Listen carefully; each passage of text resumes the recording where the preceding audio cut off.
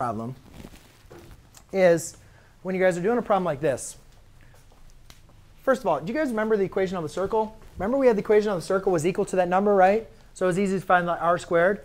But the problem was the equation of the circle didn't have any coefficients that were different, right? So if you look at the equation of the circle, there is no like a and b like in front of its coefficients. They're exactly the same. So that's how we can obviously tell this is not a circle. So what we want to do is the equation of the circle is equal to r squared. This is not a circle.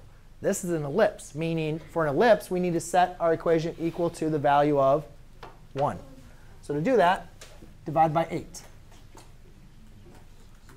Now, 2 over 8 gives us 1 fourth. And 4 over 8 gives us 1 half. So you could put the ones up there if you wanted to, but there's no real point.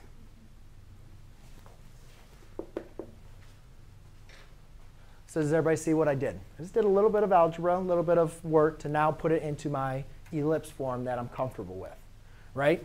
Because now it's a pretty easy to find my a squared. a squared is 4. a squared equals 4. So a equals um, going to be 2.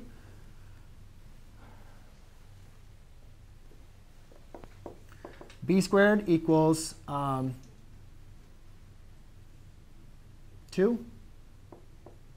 b squared equals uh, 2. So therefore, b equals the square root of 2. And then c squared equals a squared minus b squared. c squared minus a, b, or a squared minus b squared. Let me just write that out.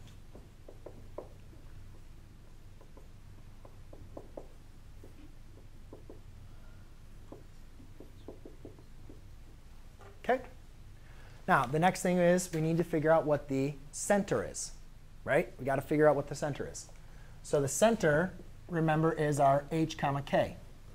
So remember, it's x opposite of h, y opposite of k. So my h in this case is going to be a positive 3, and my y is a negative 1. Now, once I figure out my center, the first thing I want to do is graph it. Because once I can graph it, I can visually see what's going on. So graph, and everybody should be able to graph 3, negative 1. And then you label it. Now, Tim, your comment last, last problem. Whatever my a is, that tells me where the major axis is, right? Horizontal, vertical. So my a squared is under what co coordinate here? Where my a squared is under which coordinate here?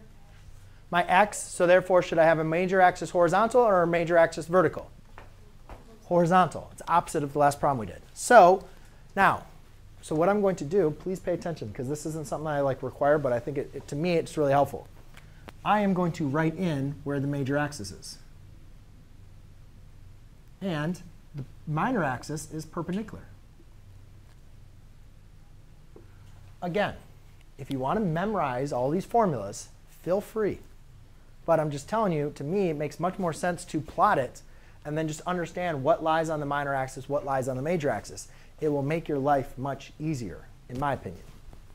So we know that, so since the major axis is going left or right, the distance from my center to my vertices, which I need to figure out, right? My vertices are going to be a distance of a away from my center, right? And they're going to be going left or right because they lie on the major axis. So I'll go 2 to the right and 2 to the left. Is it kind of easy for me to figure out what those coordinate points are? They're going to be 1 comma negative 1 and 1, 2, 3, 4, 5.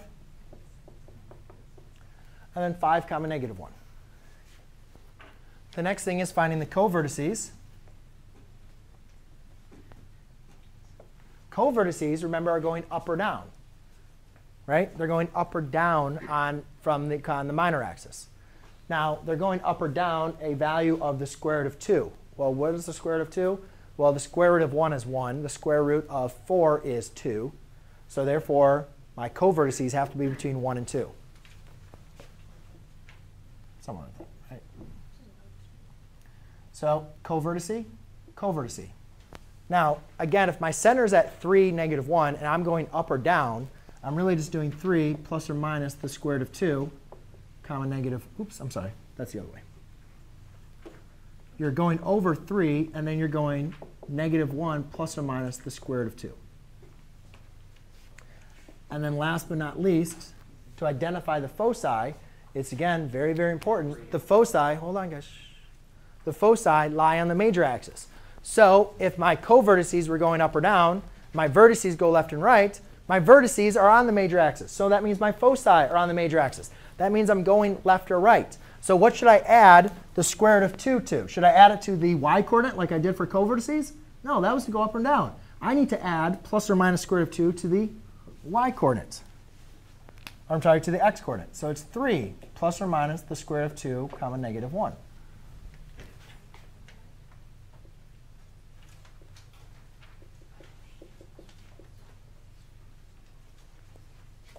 And it's going to look something like that. Yes, questions? 3 is your center. Okay. Any other questions? Okay. All right, I'll do one more.